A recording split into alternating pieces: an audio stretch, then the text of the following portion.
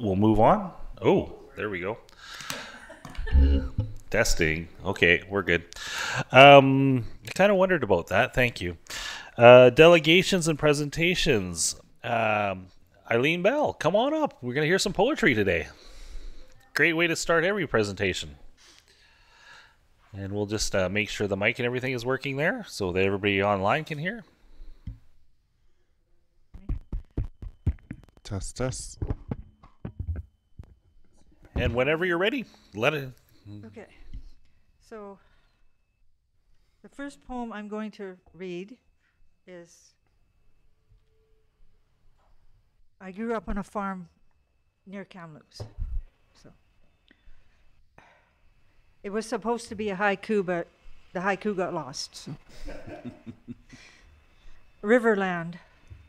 Restless river winds, winnowing valley farmland. In father's garden, hens squawk, silver sunlight dances. Hens prance single file, fowl feet indent narrow path. Spurn garden's bounty, for girl in dusty pants, rattling evening's grain bowl. Wind rustles treetops.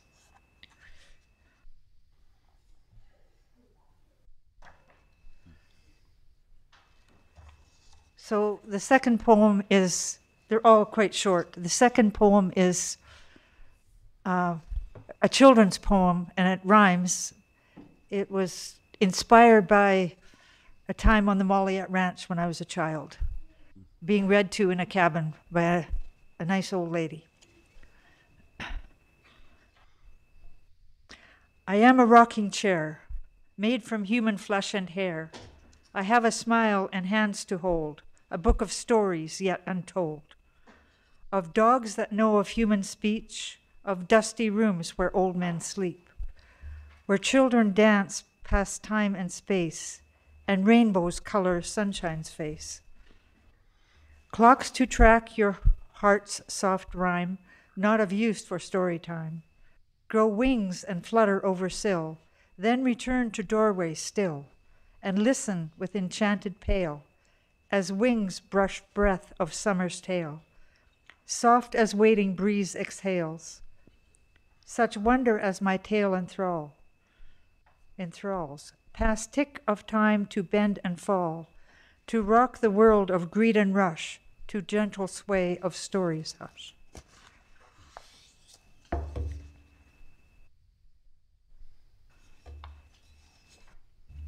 And this, the name of the poem is haiku, but it's just a poem talking about what haiku is.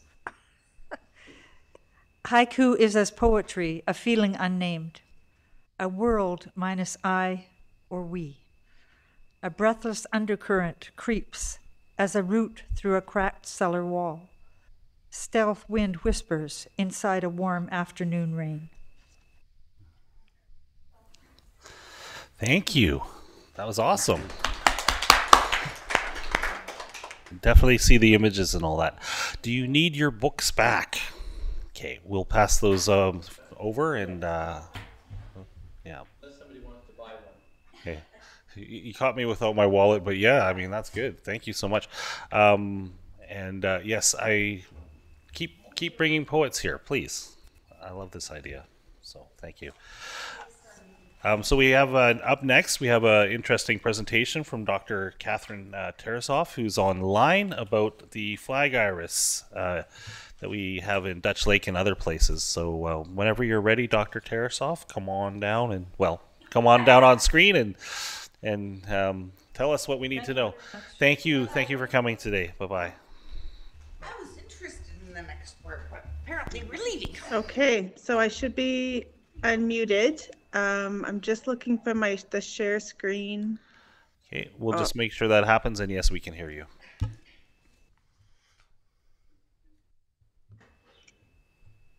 It'll take a second. There we go.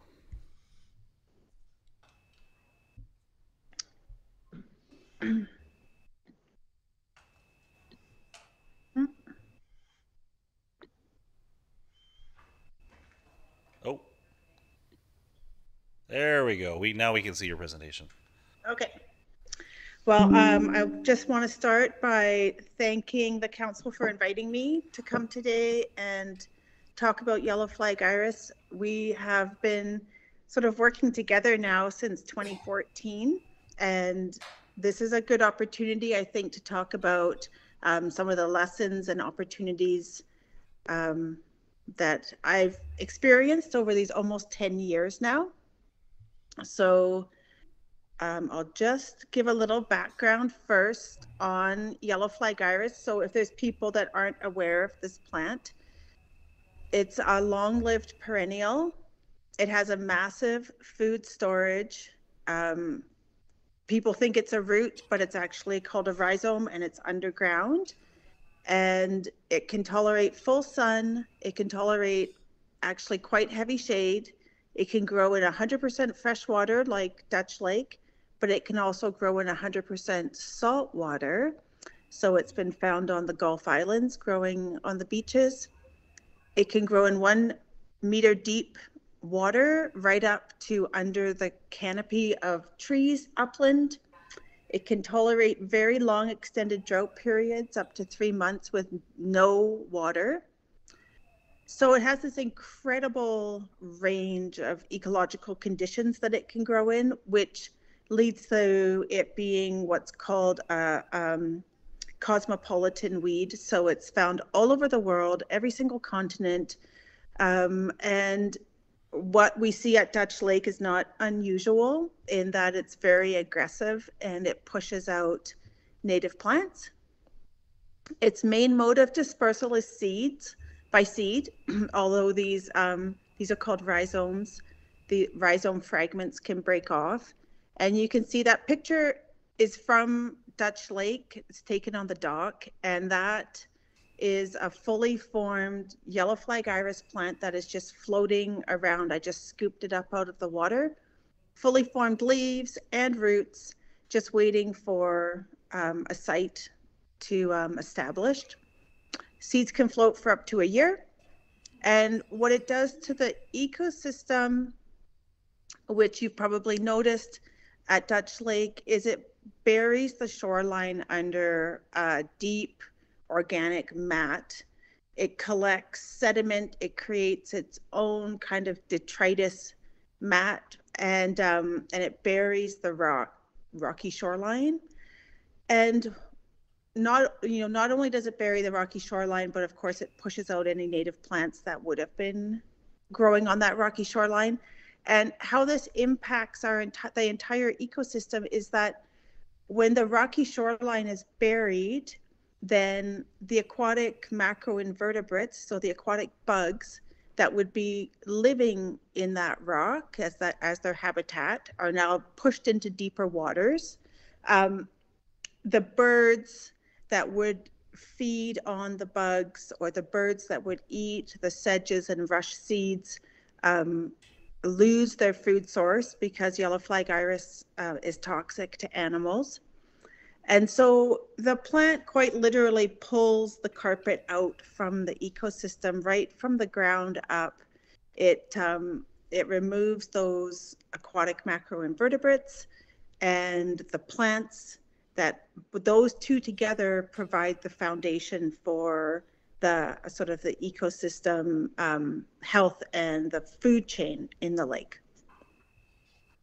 So here's a little history of the work that's happened at Dutch Lake.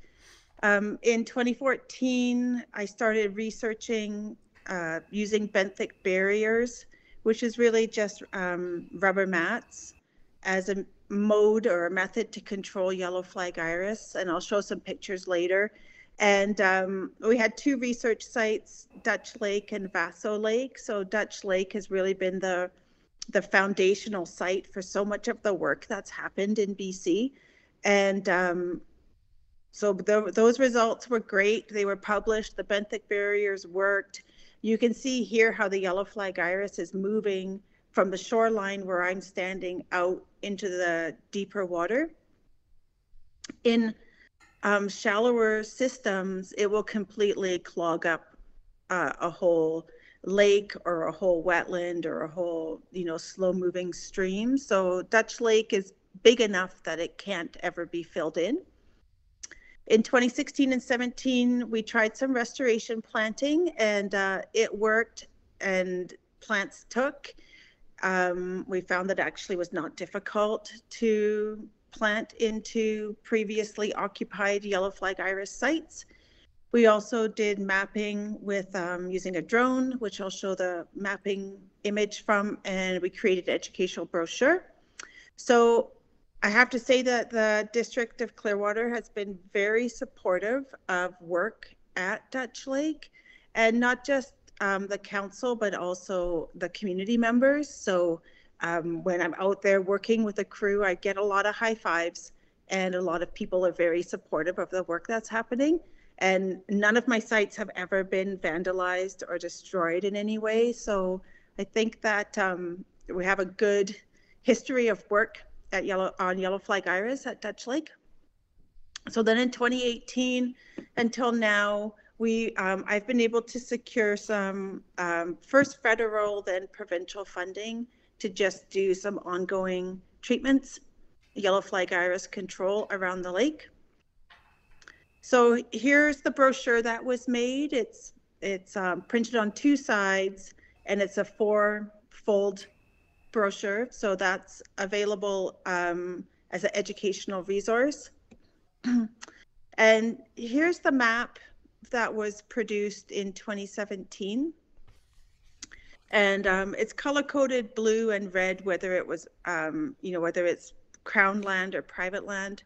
Although those those sort of um, don't really mean a lot because, of course, the surveying is outdated and um, the whole shoreline has likely shifted. But uh, regardless, you can see from this map that almost the entire perimeter of the lake um, is infested with yellow flag iris, including, of course, the island that sits out in the lake. Um, there is about 16,000 square meters of yellow flag iris around the perimeter. That was, of course, in 2017. We expect that it has expanded since then. Um, so I'm not going to sugarcoat it. It's a challenging um, site. It is definitely in my top sort of three um, worst yellow flag iris sites that I've been to. Um, of course, I haven't been everywhere, but um, there's a number of challenges to Dutch Lake, um, but there's also opportunities. So from 2017, uh, I gave a presentation to council and these are the recommendations that were made in 2017.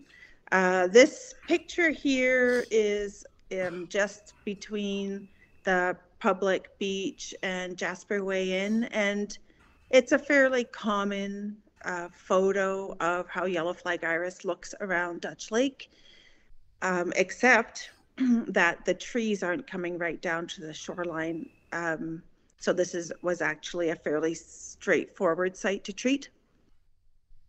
So in 2017, I recommended that we install educational signage, which we did um, I recommended to contact private landowners and um, get some kind of engagement going with um, landowners that reside on the shores of Yellow of um, Dutch Lake.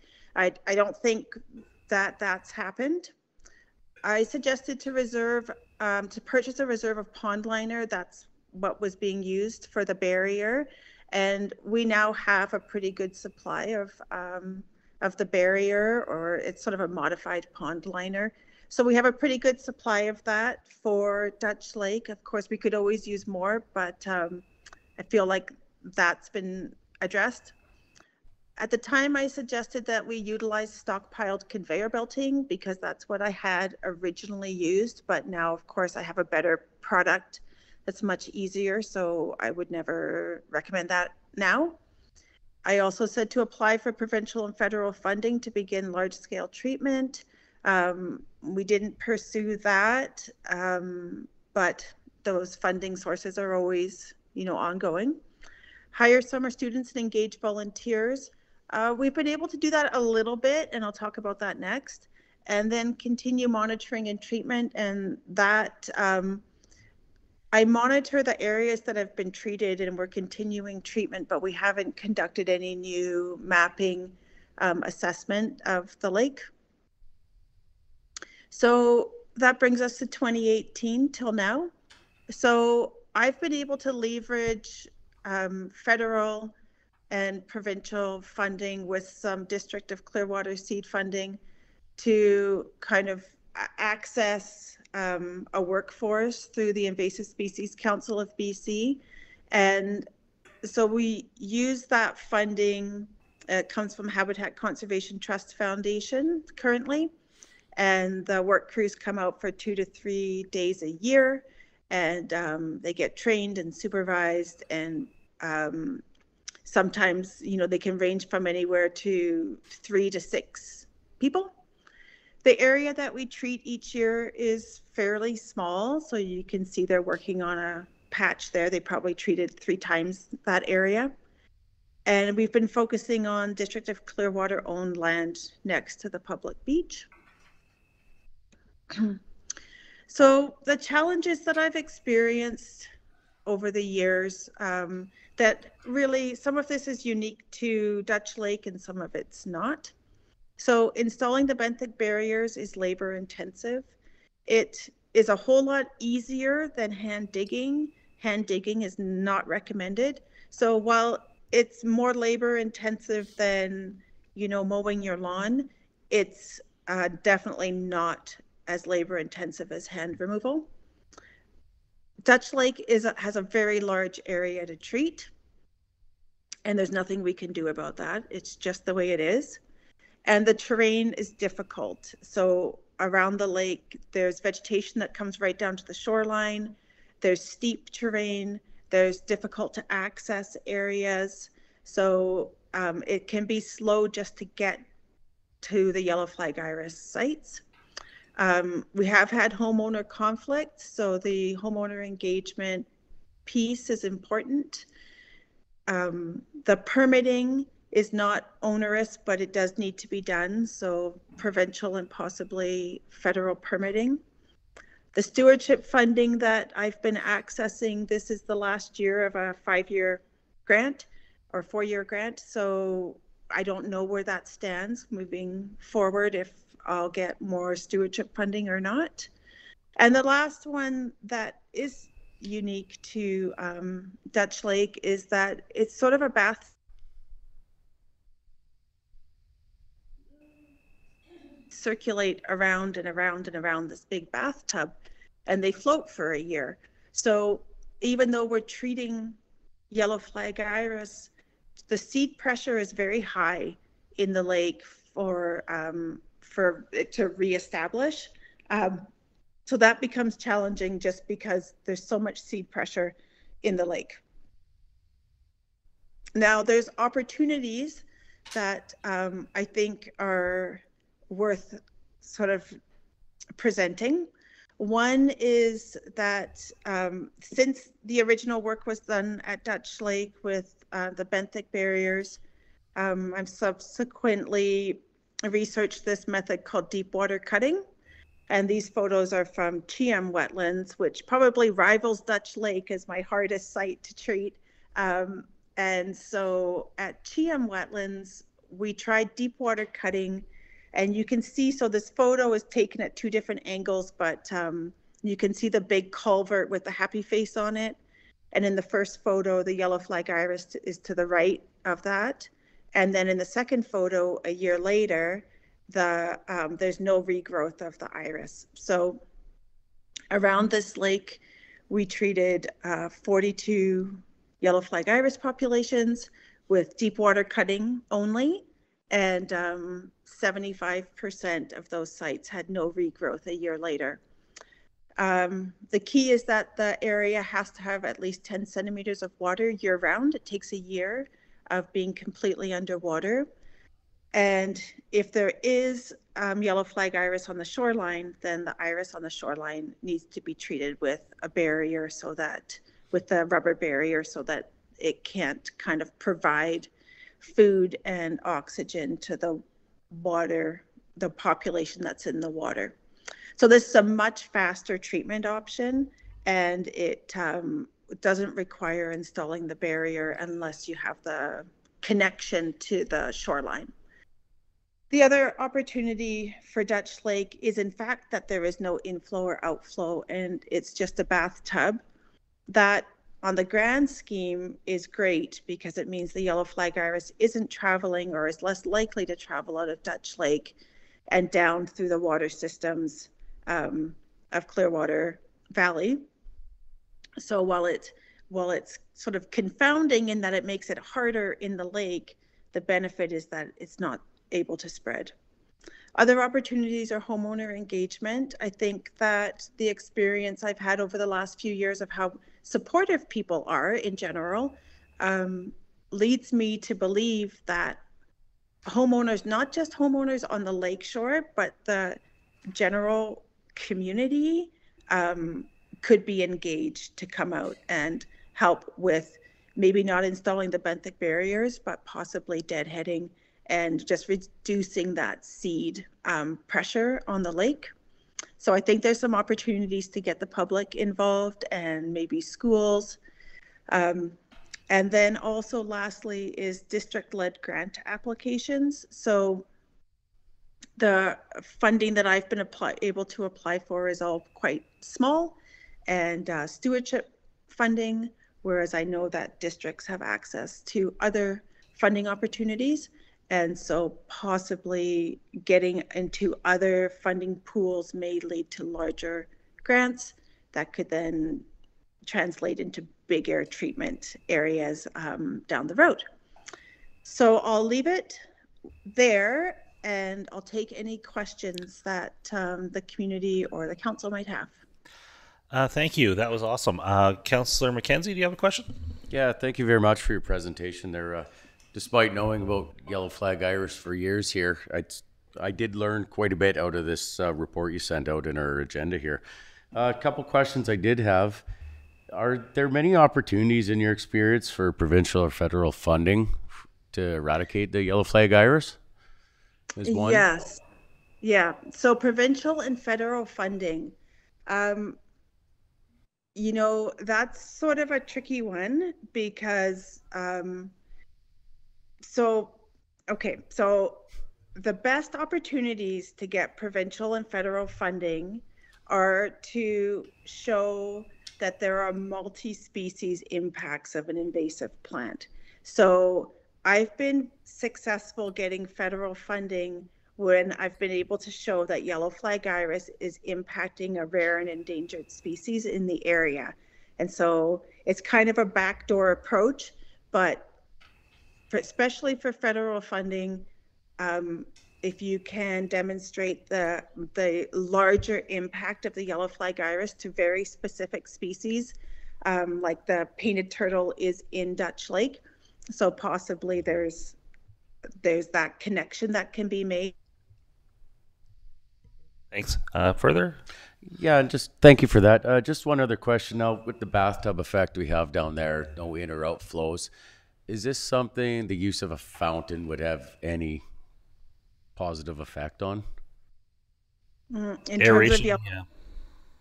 in terms of yellow flag iris, I don't No. see how that would impact it, but Yeah. Okay. Um, further questions? Uh, Councillor Braaten. Hi, thank you very much for your presentation. That was very insightful. I have a question about um, what is the deep water cutting process? Is it a machine based or human based or what is that? yeah. So it's right now it is that um, yeah we use um, long handled shears. Oh, I see. So they're like um, grass shears, and they're on maybe a meter and a half long arms. So you can walk into deep water and you can just get down to the bottom. So it's not a mechanical, I mean, it's mechanical, but it's not automated. It's still a human walking around cutting the plants. So these types of processes, if you have um, groups of people that got together to do this, is that type of thing um, allowable, or or do you need permits and things of that nature to follow through with these things? Yeah, we would still need permits, but Oh, shoot, we lost her. Oh, Oh, there she is. Oh, you're back now. yeah. Yeah. So we still need permits because any work in and about water requires provincial permitting, but um, it doesn't require special tools or, you know, I mean, the tool is very simple. And are you aware of any um, impact to the painted turtle with the iris? Or is that something we have to research? Yes. So, well, the there's somebody down in Vancouver who did a study that showed that the painted turtle is negatively affected by yellow flag iris. So it um, the ye- it avoids yellow flag iris, basically. That might be a good thing. Help us out. Thank yeah. you. Uh, further questions? Uh, Councillor Thank you. Hi, thank you for your presentation. Um, I did, you did say, um, that you're, um, on, you're doing ongoing treatments right now. What exactly is that, that you're doing? So, yeah, so we're treating with the benthic barrier along the shoreline next to the public beach. Can I? So it's just at a public beach, so it's not anywhere else around the lake? Just in? Not yet. Okay, Yeah, we've been focusing on the property that's owned by the District of Clearwater so that it's easy, easy to work. I, perfect, thank you. Uh, Councillor Braaten again. Go ahead. Um, sorry, I have one more question. If a um, private landowner um, requested to have you put the barrier um, near their property, is that allowed to be tagged into this? Um, what do you mean by tagged into this? Are you allowed to go to their property to help them put the barrier down? Yes, so um, what I have to do is anytime that I'm working on private property, I have to um, submit a section 11. So that's what I would do in, like, I would work with the private landowner to submit a section 11 and get permission to treat the yellow flag iris um, on their property. Okay, thank you. Thank you. Um, a couple questions for me. Uh, you answered a few of them about the wildlife sensitivities. I mean, we we have a still have an environment, even if it's a, a invasive species environment. And what else are we affecting in the water? Sorry, go ahead. Oh, sorry. Can you stop uh, screen sharing, uh, if you wouldn't mind, Doctor Tarasoff? I think it just causes uh, a looping effect or something. Um, there we go. Perfect. Yeah. And and then um, so the jurisdiction and permitting I- know we've had uh, maybe one or two cases of conflict with landowner um, i'm just trying to think of how effective this is going to be if we don't what, what kind of critical mass of area do we need to sort of uh, achieve on treatment before this starts to catch up and you know turn the tide on this so to speak Right. It's hard to say how much area needs to be treated each year, but what I've been doing um, at Vaseux Lake uh, for the past year now um, that I think is really effective is that um, we treat we treat the yellow flag iris with the benthic barrier, and then any area that doesn't get treated with the barrier gets deadheaded. So that way we're stopping that seed cycle and the seed production. Um, treating, you know, the lake, I think that we're looking at probably, you know, at least 15 years to make a significant impact. Um, mostly it's that there needs to be large scale treatments for five or six years to make a dent and to stop and and to do the deadheading um, to stop the seed production. Yeah, thank you. Um, that's kind of what I wanted to know.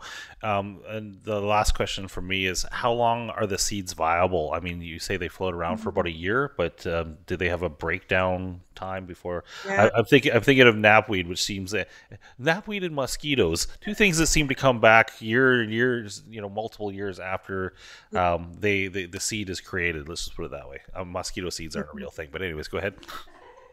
Yeah, so the seed viability, that's a question that's come up quite a bit, and there's been no published articles on that that I found. So it's hard for me to say how long lived the seeds are, except for to say that, um, you know, that the person had this one paper where they had them floating for a year, um, which indicates the seed is still viable if it's floating. So, yeah, I can't say.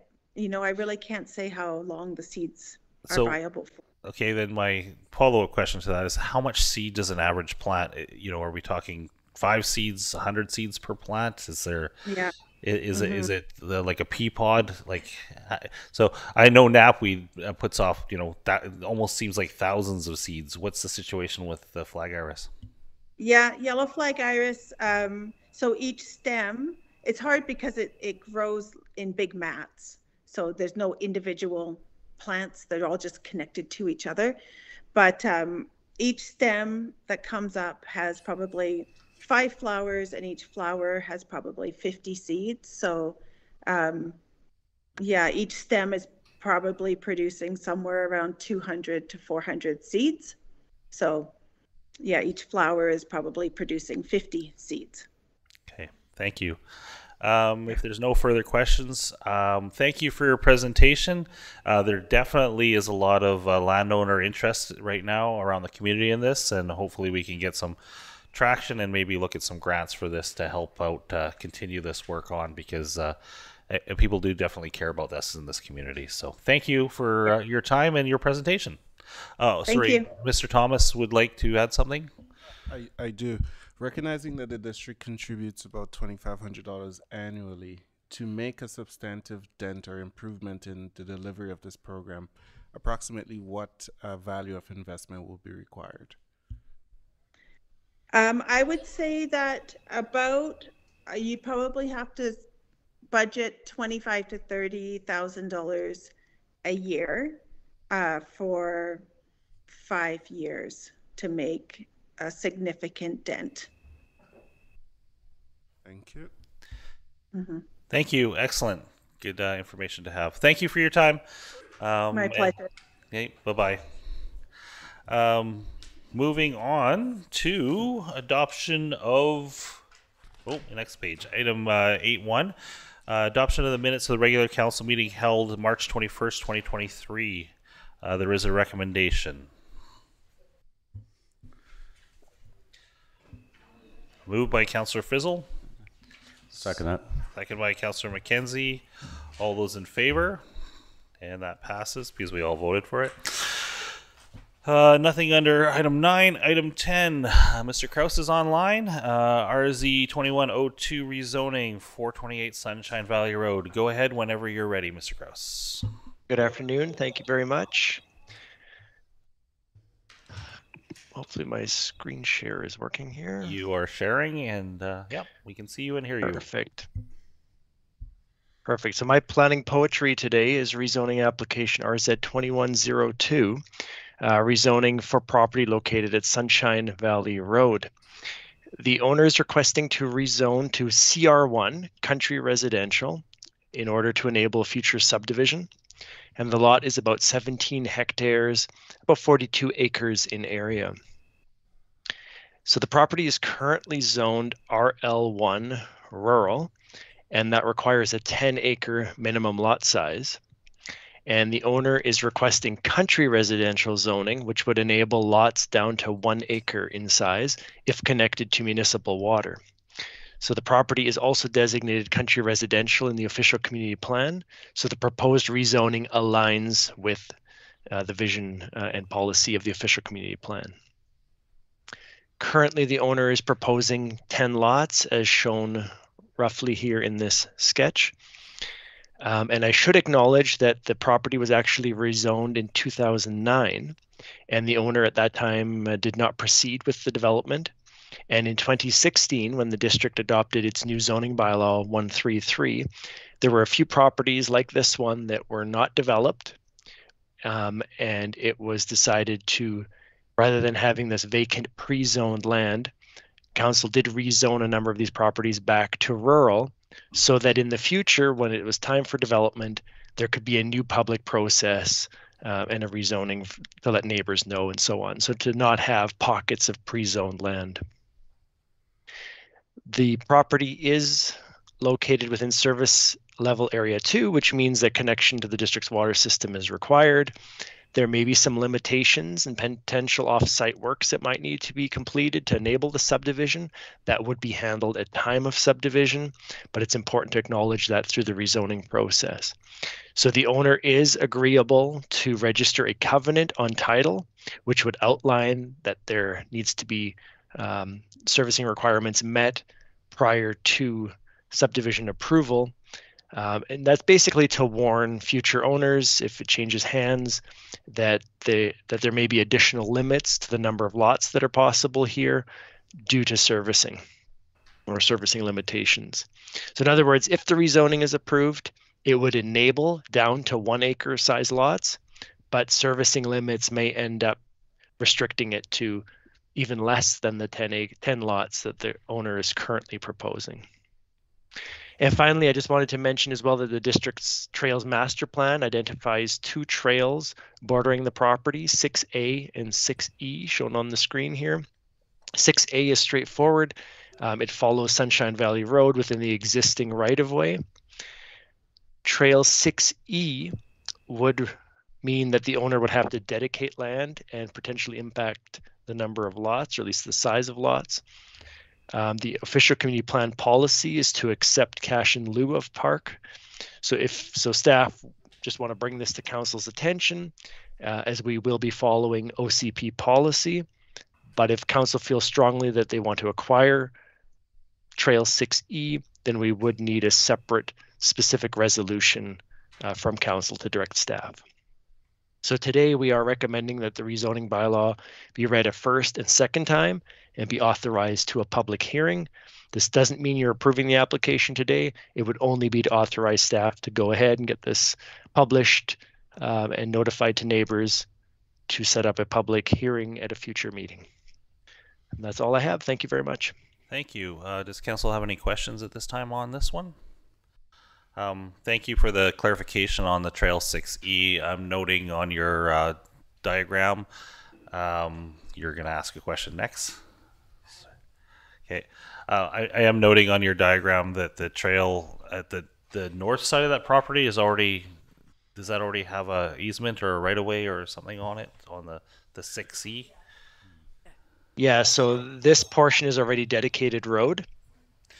Okay. So it's dedicated road to this point, and then the new acquisition would be getting something along the property line here and something along the property line traveling down to Old North Thompson Highway that would be the only way to acquire this full connection that's uh, generally envisioned in the in the master plan. Okay, thank you. I'm just uh, asking that because I'm sure that we're going to get it from the people doing trails. Mm-hmm. Further questions from council or anything? If not, oh, go ahead, uh, Councilor Frizzle. So just to clarify that um, road you're, or trail you're just talking about, mm-hmm. that it's going to be, it's designated as a trail, not as a roadway. So it is, this road is already dedicated up to this point. Right there, okay.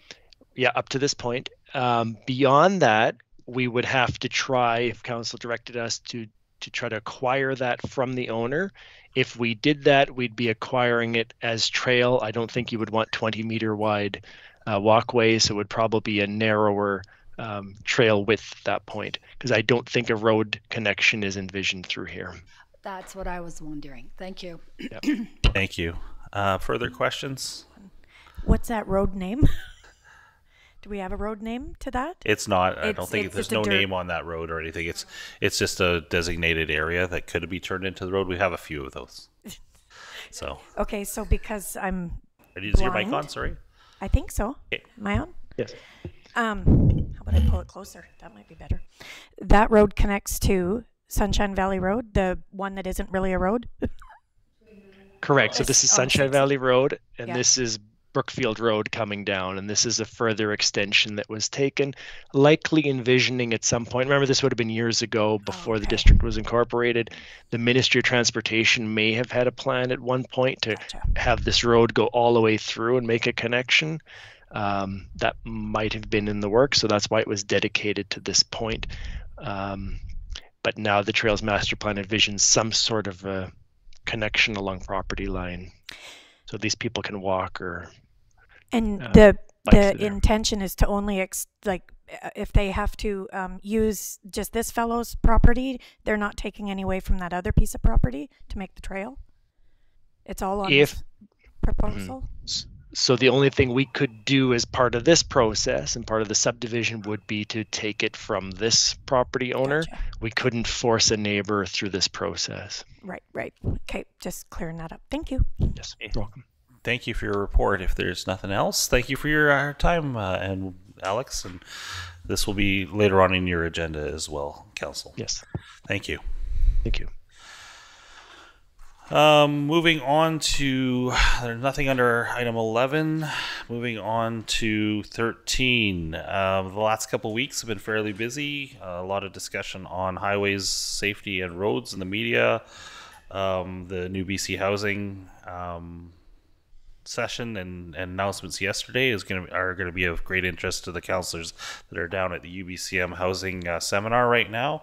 Uh, we have three down there right now. Councillor Haring, Matheson, and Sim are attending that. Um, on April 1st, I attended the Legion for their mortgage burning party. That was a great event. Um, they really like fire in there, and they didn't burn down their buildings, which is great because now they own it. Um, on the 29th of March, I attended a BC Hydro net metering online seminar for three hours, which is basically BC Hydro's looking at how they pay um, power people that are generating power off their homes via solar or wind or micro hydro off their properties, how they pay them for that power. Uh, so um, it, that was fascinating. You actually can, uh, in, in a roundabout way, sell your excess power to BC Hydro, um, and they are improving the rates on that. Um, on 29th also was agenda setting. On Thursday, the 23rd, was probably uh, the most fun event of the last couple weeks. Uh, it was 4-H speech night. And the little, the, the, the very young kids, some of them were as young as six that were giving speeches, were amazing. Um, I think they should all run for council as soon as they become legal age because they're better speakers than most of us. Um, but yeah, that was super fun. And then in the middle of that, I had the cold for seven days. So um, TNRD meetings uh, March 30th, and I will be away for the next council meeting. So there is a lot happening in the next month. So, anyways, moving on to 14.1, Councilor Braaten. Hi, it's been fairly quiet for me uh, over the last couple weeks. Um, we were supposed to meet with the cemetery group, but we didn't have enough to meet a quorum, so we're rescheduling and hopefully we'll come up with a date for that. Also, May Day is coming up May, so if you have a float idea, get one together. And we're getting a few registrants. I have a feeling people will be wanting to register on the day, and I do have some help for that. But I'm really hoping people pre register since I made an online option. Thank you. Thank you. Um, so uh, there have been a couple different versions of this route. What is the current version of the route? Where is it starting from? We are starting at uh, there. We're start the actual route now is at Kershaw subdivision. We are lining up along the side of the road, um, which, if you remember back in old days, uh, they just lined up on the side of the road, anyways, down in the flats. So we just took up the squares, you know, the blocks. Clearwater blocks that we have. Uh, so, anyways, we're just in a long line. We might um, set up walkers through Kershaw. I will be contacting homeowners along there because there's a lot of uh, livestock, meaning horses and whatnot, and I don't want to um, cause any issues that way with homeowners um, because so far I think we have six emergency vehicles wanting to register at this point, and I know they all love their lights and sirens. So anyways, uh, we'll try and get them to wait till they get a little farther down. So from Kershaw, we will go along the old highway and stop at Super Save. We don't want to encompass the bridge. Uh, and trying as, as we were a little bit concerned about blocking um, backup of uh, traffic, you know, how far up the hill it would end up going. And I also need to request 37 East if we can block that off what, for about an hour. We'll pass that on to staff, and, and thank you for that explanation of the route. Um, uh, that does leave an awful lot of corridor, uh, both uh, Brookfield um, median um, the lawn there, lots of different places. And I know there's some little technical things in there, but I think I wanted to explain to people that uh, I think an earlier version had just been along Brookfield, looping around there and, and stopping there, but this is actually Oh, adding, that was very um, preliminary. hardware and things Yeah. like that. So, So also to add to that, we, um, if you have a float or low bed or what have you, you can take off up to Camp Two, do a turnaround, and if you need to, or you can go around behind Safety Mart if you have to. But we're hoping that most people will. I mean, they can park wherever they want to watch, but you can use Safety Mart to park. Um, we're leave, hoping to leave 37 East for uh, float parking afterwards. And then, of course, there will be fun in the gym here. Uh, we'll have games set up and food and whatnot. So it's more of just a float idea or a parade idea and uh, hopefully all day event. so thank you. Uh, moving on, Councillor Frizzle. I had a very quiet week and have nothing to report. Thank you, Councillor Mackenzie. Yeah, thank you. Uh, pretty quiet couple weeks for myself as well, but uh, I will be going to Council of Forest Industries conference in Prince George, April 12th to 14th. So on the 18th meeting, I'll definitely have more to report in regards to that. And I just want to congratulate the U18 Ice Hawks uh, for their provincial win recently. Yeah, this valley's always raised a lot of good talent, and it's about time. Nice to finally see a provincial banner hanging from the rafters. So, well job, well job, well done to uh, coaches, players, everyone involved, and all the uh, helpers there as well over the course of that week. Excellent volunteer effort. And correct me if I'm wrong, the the women's girls hockey team came in third in provincials. Bronze. So bronze medal as well. So congratulations to them as well. Uh, moving on to CAO report. Uh, you have in your package the uh, Q1 newsletter. If you have any, yeah, looks good. Lots in there. Um, any further comments on any of that, Mr. Thomas? Nope. Good. Nope. Uh, we're we are certainly looking for a new executive assistant and uh, trying to roll out a community call out for future newsletters for groups and stuff who may want to advertise specific programs in here. Excellent, thank you. Yeah, no, it looks really good, and uh, the updated meeting schedule is in there as well as a item fifteen point two. Uh, new business, uh, community chair rotation extension. There is a recommendation, and um, staff, if you wish to speak to this, or if uh, council has questions of staff on this. We'll we'll start with uh, Mr. Prime. Go ahead if you'd like to just say where this comes from. Uh, thank you, Mr. Mayor. Um, yes, so this came from a re- uh, request from council at the last meeting, uh, just uh, highlighting that six month terms were not necessarily effective in sort of continuity of leadership. Uh, so I rescheduled the uh, terms and they're before you. Um, I would like to fill in any TBDs if anyone had noted a spot that they would like to fill, keeping in mind that working groups can have up to three council members on the working group um, at your discretion. Thank you. Um, there's a recommendation here, um, but um, if you wouldn't want to think about the TBDs, the to be determines on there, and uh, submit your name or uh, approach uh, Mr. Prime and uh, pencil it in, we can do that at a later council meeting. Um, and I do appreciate this because, um, especially with the way the, the year rotates, it's really hard necessarily to get enough time in the seat of any of these committees because sometimes things just don't happen for months at a time. Um, so the annual schedule is actually kind of nice. Councillor Braaten. Do you have to do you have to um, submit at a council meeting to say you want to be on one? No, Just just let staff know, and and then we'll bring that forward. Um, at this particular point, heads and volunteers are more than welcome on a lot of these positions. So, okay, uh, so there is a recommendation. What is the will of council on the recommendation?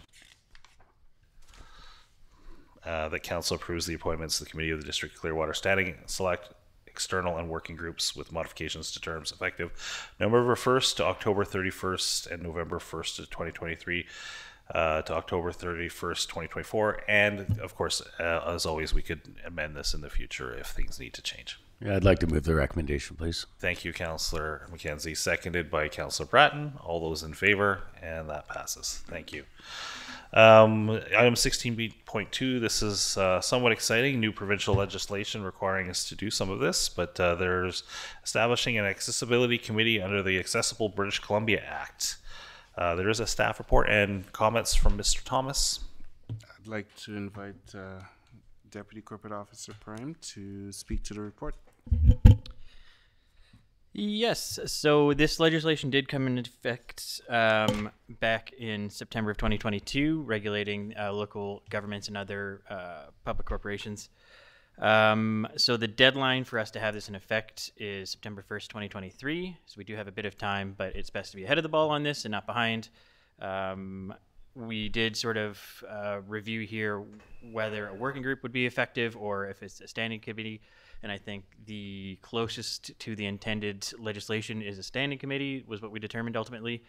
Um, and that would just provide the most direct avenue to council to make recommendations.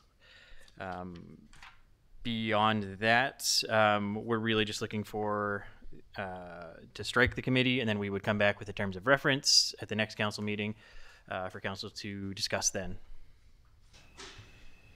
Thank you. Are there questions of staff on this?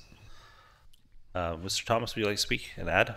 Go ahead. Uh, in addition to Deputy Corporate Officer Prime, we have attached a couple of resources here for council to be aware of, including um, the implementation timeline from the province for the Accessibility BC Act, as well as the 2016 report that was done titled Front Door to Grocery Store Getting Seniors Where They Want to Be in Clearwater, the final report. On page, um, one sec here.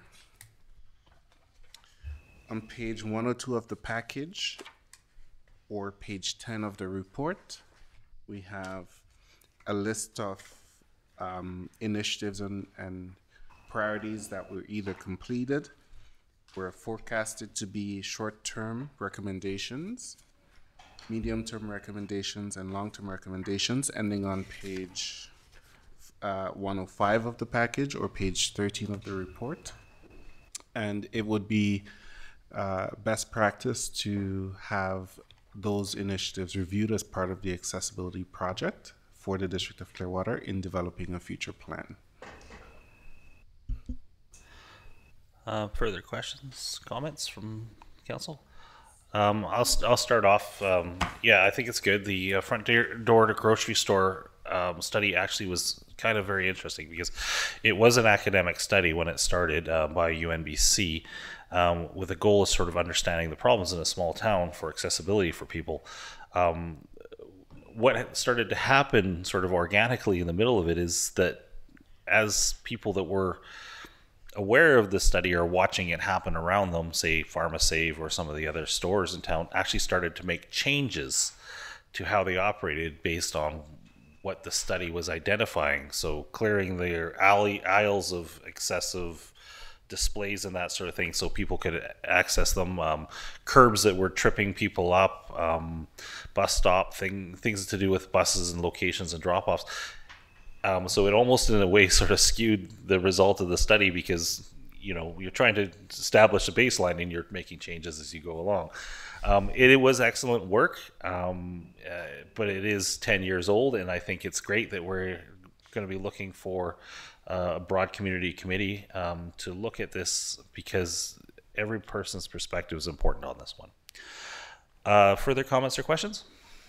Uh, Councillor Frizzle. I just wanted to make note of the front door to grocery store. That was a three-year study, and um, they actually took seniors out on the bus, and they brought simple changes like walking into the medical center and hitting their heads on the the flower bit pots that were too low. So simple things that nobody thought of. That the medical center did not have an automatic door when that started. It does now. And, and it's those simple things. The reason that the bylaw is the way it is is because of that study. So um, it, I, I really think we need to go back and look at it and because I think we've done a lot. I think we can do a lot more. And I think it, this is just a great idea and I love it. Thank you. Uh, excellent points. Uh, so there are a pair of recommendations. Do these need to be moved separately or together? At council's decision. Okay, so we can move these together if uh, council wishes to do so. Um, two point recommendations here that council strike a standing committee and then that council direct staff to develop terms of reference um, to be presented. Thank you. Uh, Council Frizzle moved. Do you have a question or second it? Seconded by Council Braaten. Uh, okay, uh, further discussion? This is good. It's very interesting. All those in favor? And that passes. Thank you. Um, item 16.3 UBCM CEPF EOC grant application. Um, and I'm sure staff can tell us what this is about. Thank you. Deputy Corporate Officer Prem and perhaps uh, Fire Chief Smith as well. Uh, yes, thank you. Um, so we were approached uh, pretty late in the game for this uh, grant application. Uh, we were approached by Simpcw to do a regional uh, exercise on this. Um, you know, we were aware of the grant initially, but had sort of passed on it due to just staff capacity at the time to develop an exercise and grant application. Uh, however, Simpcw sort of came to us and said, "Hey, we have this regional exercise we'd like to do. We'd like to share the costs. It's going to include all the municipalities, Barriere, TNRD, um, and we'd like you on board." They provided us with a lot of the um, sort of initial information to get the grant application done.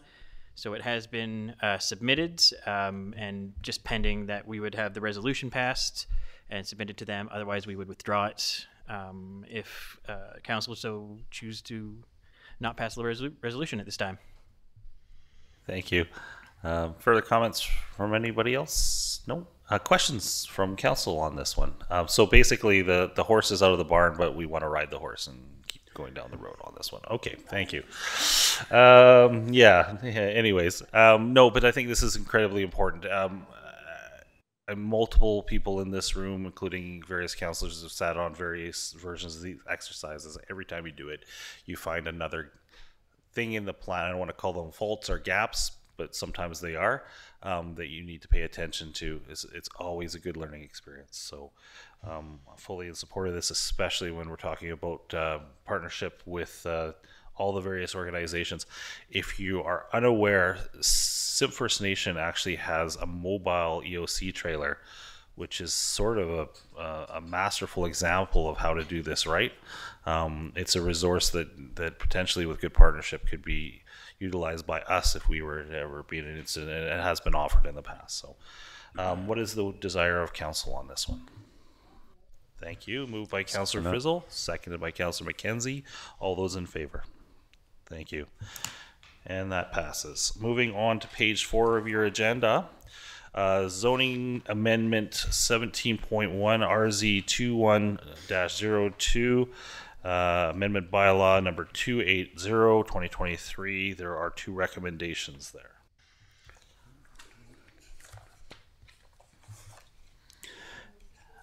Um, move the first one by Councillor Frizzle seconded by I'll second that. Thank you, Councillor Mackenzie. Uh, District of Clearwater, uh, bylaw number 280-2023, a bylaw to amend District of Clearwater zoning bylaw number 133.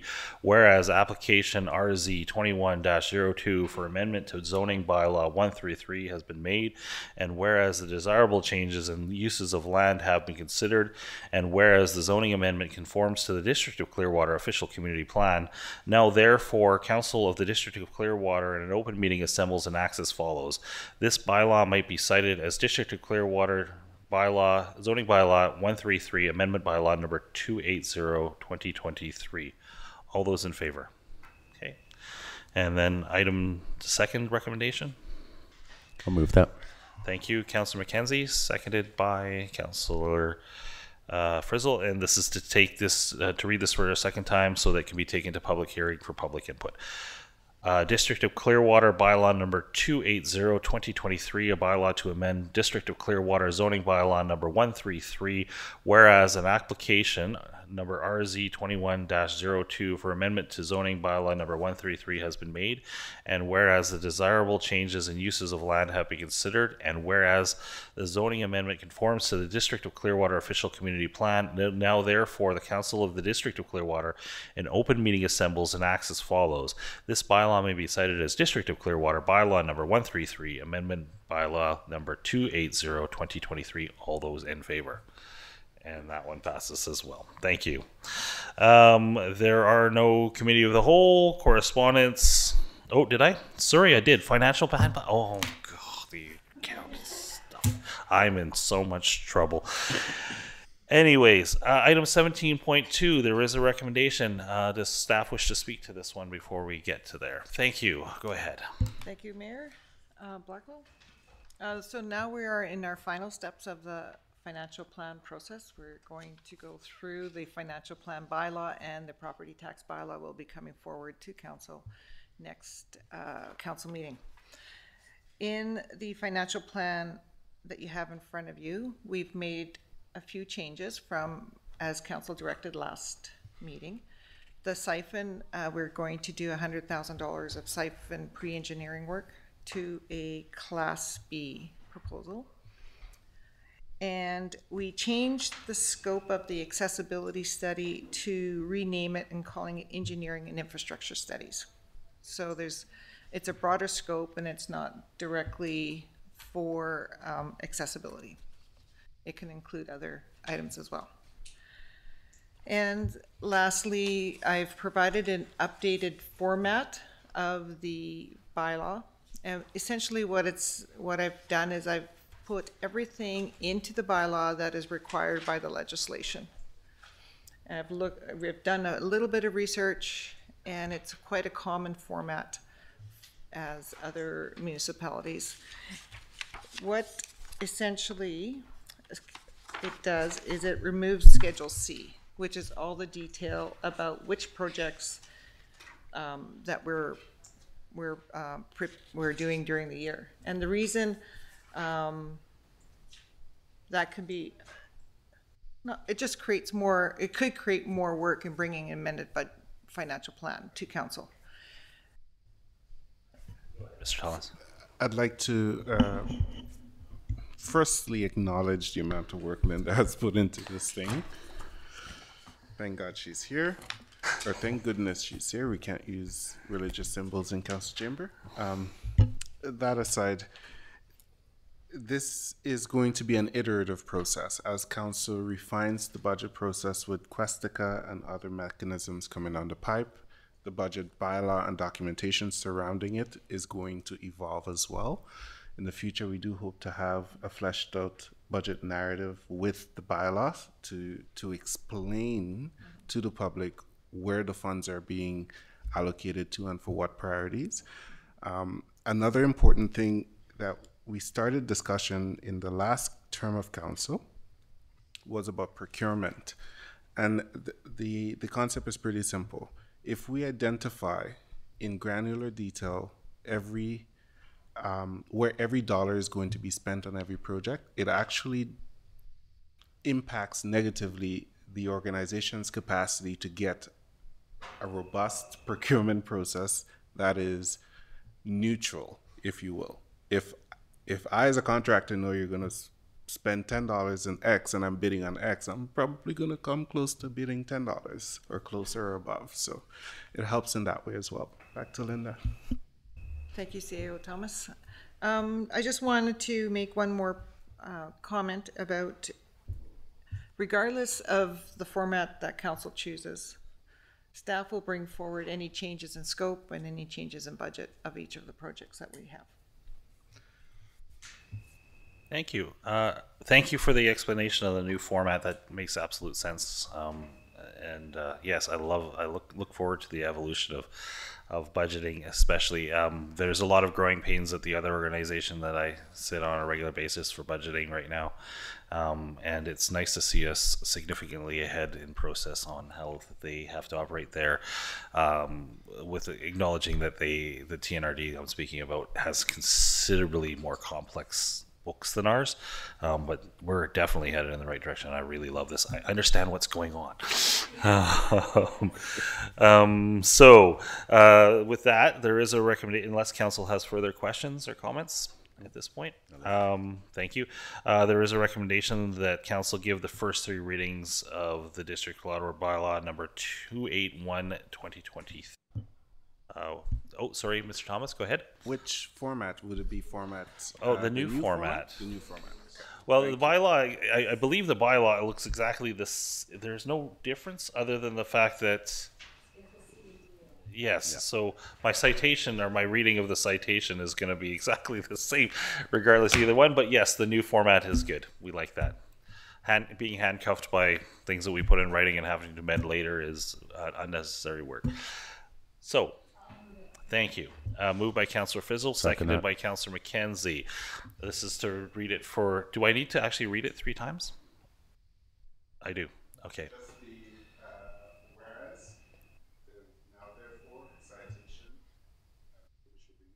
Okay, so District of Clearwater. So this is actually going to be three separate motions. Um, we're going to have to do this three times. Yeah. Okay, so um, is it the desire of the person that moved this to read all three together? Yes, you can. We always use that you to read the first one and then we could combine the second and third. Is You is, could do is it that. still okay doing all three at once? I, I, that's- I think uh, move it for the first time, Yeah. and let's do second and third because I think, to be clear, I think that's my understanding of how it's supposed to go. So, move it for the to be read for the first time. I, I move to read it for the first time. And you're okay with that? Thank you, Councillor Mackenzie. District of Clearwater 2023 to 2027 five-year financial plan bylaw number 281 2023, a bylaw to adopt the 23 2023 to 2027 financial uh, five-year financial plan, whereas section 165 of the community charter requires that the council shall adopt a five-year financial plan, and now therefore the council of the district of Clearwater in open meeting assembled and acts as follows. This bylaw may be cited as District of Clearwater bylaw number 281 2023, the 2023 to 2027 five-year financial plan. All those in favor? Somebody wish to move two and three together? Thank you. Uh, seconder on that. I'll second it. Thank you, Councillor Mackenzie. Everybody gets their name on the agenda today because there's only four of us here. District of Clearwater 2023 to 2027 five year financial plan bylaw number 281 2023. Uh, bylaw to adopt the 2023 to 2027 five year financial plan, whereas Section 165 of the Community Charter requires the Council shall adopt a five year financial plan. Now, therefore, the Council of the District of Clearwater in an open meeting assembles and acts as follows. This bylaw may be cited as District of Clearwater bylaw number 281 2023, 2023 2023 to 2027 five year financial plan. All those in favor? Thank you. And that passes. So next meeting, we go to adoption on that. Thank you. Um, uh, but I'm not here, so y'all can decide what we're doing. Um, thank you. Uh, there is no committee of the whole. Uh, correspondence required. Correspondence information only. Notices of motion. Uh, comments from the public. Is there any in person or online? Nope. Okay, thank you. Uh, we do ha- require to go into an in camera. Uh, there is a recommendation that meeting be closed to the public pursuant to sections I of the receipt of advice that is subject to solicitor client privilege, including the communications necessary for that purpose, and L discussions with municipal officers and employees respecting the municipal objectives, measures, and progress reports uh, for the purpose of preparing an annual report under section 98 of the community charter.